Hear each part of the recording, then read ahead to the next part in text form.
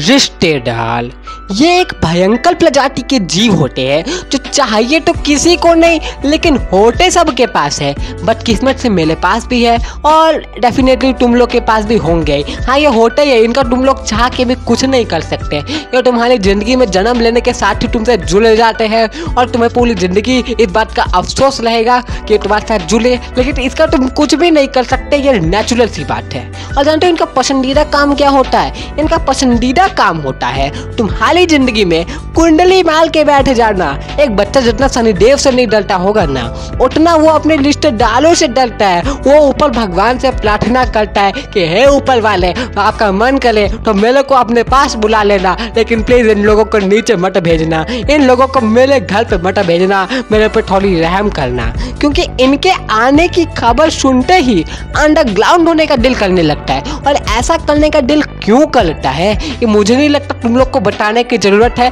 कि मुझे पता है तुम लोग भी इसी चीज़ से पीड़ित अवश्य होंगे। और इन में, जो सबसे भयंकर, सबसे खौफनाक, सबसे भयानक, सबसे ज़्यादा डरावने जो प्रजाति के प्राणी होते हैं ना, वो जानते हो क्यों कौन होते हैं? तुम्हारे चचेले, ममेले, फुफेले सौटेले मौसेले और जितने भी टला के होते, ओठले टला के भाई हाँ तुम चाहे कैसे भी हो, इनसे बड़े हो, छोटे हो, तुम्हारा इनसे पिसना पक्का ही है। क्योंकि अगर तुम इनसे उम्र में छोट, इनसे उम्र में बड़े हो और ये तुम्हारे छोटे छोटे भाई है तो ये बात तुम्हारे लिए किसी अभिशाप से कम नहीं है। क्योंकि अब टूटेंगे तुम्हारे खिलौने खर्च होगी तुम्हारी पॉकेट मनी खेले जाएँगे तुम्हारे वीडियो गेम्स और उन्हें खेल टोल मरोल के तुमसे दूर कर दिया जाएगा और तुम इसका कुछ भी नहीं कर पाओगे।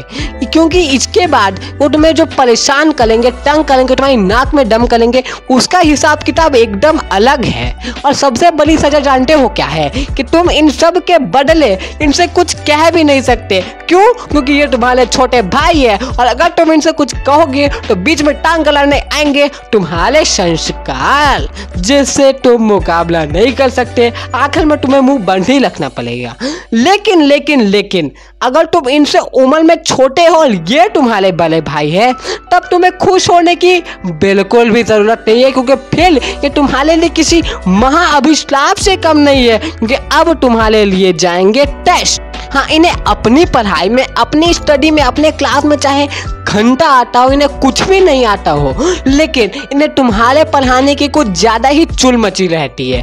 और अगर तुम्हारा कोई चचेरा ममेला फुपेरा सौटेला मौसेला किसी भी तरह का भाई तुमसे ये कहता है कि बेटा, आओ जरा तुम्हारी पढ़ाई देखे तुम कैसे हो पढ़ने में? तो मैं तुम्हें सजेशन दूँगा कि तुरंत अपने बालकनी में जाना और छलांग लगा देना। हाँ छलांग लगा देना, क्योंकि अगर तुमने छलांग नहीं लगाई तो इसके बाद तुम्हारी जो हालत होने वाली है, वो देखकर तुम्हें लगेगा कि साला इससे अच्छा तो मल ही जाते क्योंकि पता नहीं कि तुम्हारी किताब का कौन सा सवाल ढूंढ के तुम्हें देंगे। पता नहीं क्या, ये तुम्हें वही सवाल ढूंढ के देंगे जिसका तुम्हें एक परसेंट भी नहीं आता हो। पता नहीं इसको कहाँ से वही सवाल मिल जाता है। और इनका जानते हो फेवरेट सब्जेक्ट कौन सा निकलेगा? मैथ और वो इसलिए निकलेगा क्योंकि नब्बे परसेंट बच्चे की इसी सब्जेक्ट में फटती है इसलिए। इसी सब्जेक्ट इनका फेवरेट हो गया।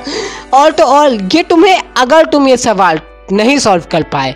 अनसक्सेसफुल रहे इनके सवालों का जवाब देने को तो तैयार हो जाए अब तुम्हें मिलेगा टॉर्चर और ऐसा टॉर्चर जिसे जिसे देख के तुम्हें नॉर्थ कोरिया का जो तानाशाह है ना किम जोंग, वो भी तुम्हें लगने लगेगा भाई कि मतलब मेरे रिश्तेदारों से दयालु तो वो किम जोंग है। काश मैं नॉर्थ कोरिया में जन्म लिया लेता, लेकिन मेरे ऐसे रिश्तेदार नहीं होते। अब जरा भाइयों के अलावा भी किसी पे बात कर लेते हैं। तुम सबके फैमिली में एक ना एक आदमी, एक ना एक फूफा मौसा, चाचा फूफी मौसी, कोई ना कोई ऐसी ज़रूर होगी जिसके पास पूरी दुनिया का ज्ञान होगा। उसे लगेगा कि पूरा ब्रह्मांड का ज्ञान, पूरा वेद, गीता, पुराण, कुरान, सब चीज़ का ज्ञान उसी के दिमाग में घुसा पड़ा है। हाँ मेरी एक बुआ है, वो भी कुछ इसी तरीके की है। किसी ने दसवीं पास कर ली, अब उसे आगे क्या करना है? ये बात वो बताएँगे। किसी ने कॉलेज पास कर ली, अब उसे नौकरी कहाँ करनी है? ये बात भी वही बताएँगे। किसी को नौकरी मिल गई, अब उसे शादी किससे करनी है? यह बात यही बताएँगे। किसी की बीवी भाग गई, अब दूसरी शादी किससे करनी है? ये भी वही बताएँगे। किसी की दूसरी वाली भी भाग गई, अब क्या करना है? वो भी यही बताएँगे। अरे बट इन्होंने ही तो लड़की बताई थी, मारो ना इनको। और इन लिस्टेड डायलॉग की जो सबसे ज़्यादा फ्रस्ट्रेटिंग बात होती है ना, वो जानते हो क्या है? इनका ध्यान पता नहीं क्यों तुम पे ही लगा रहता है। जैसे कि वो कोई सीबीआई ऑफिसर हो और तुम कोई क्रिमिनल हो, जो उनसे क्राइम करके भाग रहे हो और वो तुम्हारा पीछा कर लो, तुम्हारी तहकीकात कर रहे हो। ऑल और ऑल अगर इन्हें तुम गलती से भी किसी लड़की से बात करते हुए दिख गए, फिर तो मामा जी का लड़का लड़की से बात कर रहा है? फेल है फाइव जी या फिर वंदे भारत एक्सप्रेस क्योंकि इनकी ये बातों को फैलाने की जो स्पीड होगी ना, वो इन लोग से बहुत ज़्यादा तेज होगी नेक्स्ट लेवल ही होगी। और कुछ ही घंटों में ये बात तुम्हारे खानदान के बच्चे बच्चे को पता चल जाएगी। और तुम्हारे घर वालों को तो ये बात दस गुना, सौ गुना या फिर हज़ार गुना कल के बताई जाएगी। मतलब इस बात में इतनी ज़्यादा एडिटिंग की जाएगी, इतनी एडिटिंग की जाएगी कि एक यूट्यूबर अपनी वीडियो में उतनी एडिटिंग नहीं करता होगा जितनी इस बात में की जाएगी। और फिर ये बात तुम्हारे रिश्तेदारों को बता दी जाएगी। अरे यार, कौन सा गुना कर दिया? एक लड़की से तो बात कर ली। तुम लोग तो ऐसे ये लोग ट्रीट करते हैं जैसे कि कोई बहुत बड़ा टाइम कर लिया हो चल ईमान में थर्ड डिग्री दे रहे हैं। खैर, इस दर्द का तुम लोग कुछ भी नहीं कर सकते। इस पूरे दर्द को चुपचाप हँसते हुए सहन करने के अलावा तुम कुछ भी नहीं कर सकते क्योंकि तुम्हारे हाथ में कुछ भी नहीं है। लेकिन हाँ एक चीज़ है जो कि तुम्हारे हाथ में है और वो है तुम्हारा मोबाइल। और उससे भी तुम एक काम कर सकते हो, वो है इस वीडियो के नीचे जो लाइक का बटन है, उसको ठोक सकते हो और उसके नीचे जो सब्सक्राइब का बटन है, उसको भी ठोक सकते हो। अगर तुम्हें ये वीडियो थोड़ी से भी अपने हालातों से रिलेटेबल लगी हो, क्योंकि मैं भी फ्रस्ट्रेट होकर ही कर रहा हूँ ये कहानी नरेट अगर तुम्हें ऐसी और वीडियोस देखनी है तो कमेंट सेक्शन तुम्हारे लिए खाली पड़ा है, वहाँ जाके बता देना।